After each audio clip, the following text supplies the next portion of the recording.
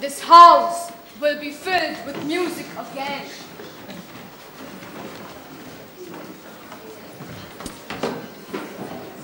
Bad news. The Nazis have taken over Austria. The captain wants nothing to do with Nazism. He has to flee. What is he waiting for? For the marriage with Maria. He plans to flee along with his family after marrying Maria and the last public appearance when they bid farewell.